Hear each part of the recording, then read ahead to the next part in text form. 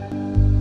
TV serial साथ हमारा साथिया के आने वाले एपिसोड में दिलचस्प मोड़ देखने को मिलेगा जहां गहना खरीदारी के लिए राधिका को अपने साथ आने के लिए कहेगी वो अपने परिवार के लिए कुछ खरीदना चाहती है जहां अनंत राधिका को गहना के साथ जाने के लिए कहेगा क्योंकि गहना को मदद की जरूरत है जहाँ चुपके से गहना राधिका को विनीत के घर ले जाएगी और खुद के घर में रहने की सलाह देगी और उसे देसाई हाउस से दूर रहने के लिए कहेगी जहाँ राधिका को गहना पर गुस्सा आता है क्योंकि उसे उसकी चालाकी से देसाई हाउस से बाहर निकाल दिया है जहाँ गहना उसकी चाल को सही ठहराएगी और खुलासा करेगी की विनीत एक अच्छा आदमी है और उसे अपनी शादीशुदा जिंदगी जिंदगी पर ध्यान देना चाहिए न कि दूसरों की लाइफ पर तो क्या आप गहना राधिका कोनन से दूर रख पाएगी या नहीं